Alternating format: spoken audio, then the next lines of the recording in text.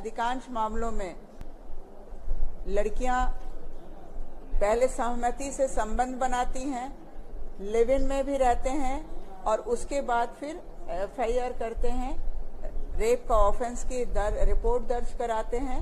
तो मैं सभी से ये अनुरोध करूँगी कि अपने रिश्ते अपने स्टेटस को पहले देखें समझें और ऐसे रिश्तों में यदि आप पढ़ते हैं तो उसका परिणाम हमेशा बुरा होता है। अधिकांश मामलों में लड़कियाँ पहले सहमति से संबंध बनाती हैं लिव इन में भी रहते हैं और उसके बाद फिर एफआईआर करते हैं रेप का ऑफेंस की दर, रिपोर्ट दर्ज कराते हैं। तो मैं सभी से ये अनुरोध करूँगी कि अपने रिश्ते अपने स्टेटस को पहले देखें समझें और ऐसे रिश्तों में यदि आप पढ़ते हैं तो उसका परिणाम हमेशा बुरा होता है।